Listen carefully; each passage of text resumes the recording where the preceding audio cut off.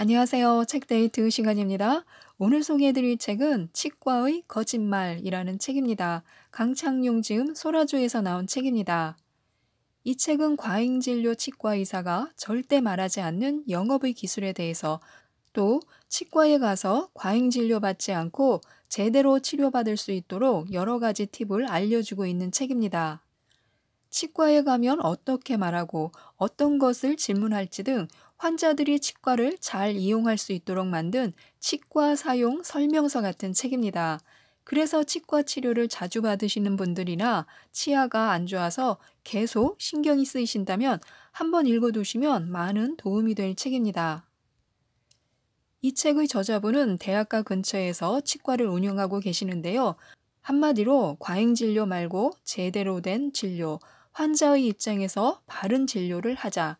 치아는 평생 써야 하는 만큼 환자의 고통을 덜고 건강한 치아를 오래도록 사용할 수 있도록 바른 진료를 하자는 차원에서 쓰신 책입니다. 실제로 유튜브에서도 활발한 활동으로 과잉 진료에 대한 상담과 여러 가지 정보들을 알려주고 계시는데요. 그동안 치과 치료 때문에 고민이셨던 분들에게는 바른 선택을 할 수 있도록 도와줄 책입니다.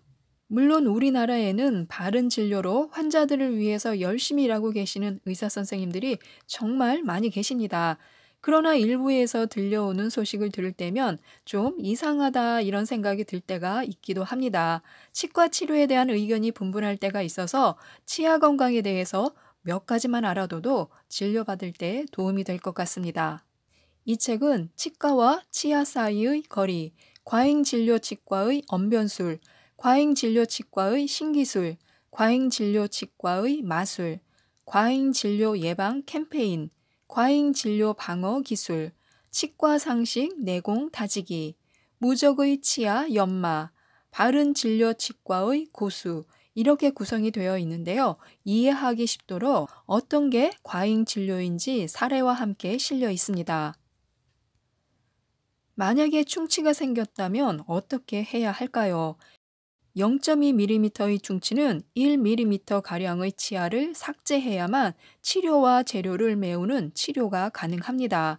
그래서 충치보다 더 많은 치아를 손해볼 수 있는데요. 치아는 범낭질과 상아질로 나뉘어 있습니다. 범낭질은 치아의 제일 바깥쪽 부분으로 이 부분에 생긴 충치는 구강 관리만 잘하면 충치의 진행을 멈출 수 있다고 합니다. 또 치아 안쪽 부분인 상아질까지 진행된 충치도 진행이 멈추는 경우가 있고요. 외국에서는 초기 충치의 경우에는 1년마다 관찰하면서 지켜보라고 권하고 있다고 합니다. 그래서 환자가 6개월이나 1년마다 검진을 받고 충치가 더 진행되지 않도록 주의하는 것도 효과적일 수 있습니다. 충치균은 전염되기 때문에 빨리 치료해야 한다. 이런 말을 들으시면 치료를 잠시 뒤로 미루시고 다른 치과도 방문해 보시기 바랍니다. 또 우리는 하얀 치아에 갈색 점이나 검은 선만 보여도 걱정을 하게 됩니다. 빨리 치료하지 않으면 안 된다 이렇게 생각을 하죠. 그래서 치과에 방문해서 먼저 치료를 요구하기도 하는데요. 그렇게 방문한 곳이 만약에 과잉 진료 치과라면 손쉬운 먹잇감이 되는 것이라고 합니다. 환자가 결정했는데 치과 의사가 무슨 잘못인가 하면서요. 충치는 구멍난 충치와 구멍나지 않은 충치로 나뉘는데요. 구강 관리를 잘하지 않아서 진행 중인 충치와 양치질을 잘하고 당분 음식을 피해 멈춰 있는 상태의 충치, 즉 진행 충치와 정지 충치로 나뉘어집니다. 치아 표면이 까맣다면 충치가 있는 것이 맞지만 치아 표면에 작은 구멍이 생기지 않았다면 양치질만 잘해도 충치가 멈출 수 있기 때문에 빨리 치료하기보다는 조금 더 지켜봐야 한다고 합니다. 또한 충치는 1년 사이에 더 심해지는 것이 아닌데요. 초기 충치가 심해지는 데에는 평균 2년 정도가 걸린다고 하니까요. 정기 검진을 꾸준히 받으시거나 걱정이 되시면 또 다른 치과를 방문해서 이야기를 한 번 더 들어보시는 것도 하나의 좋은 방법입니다.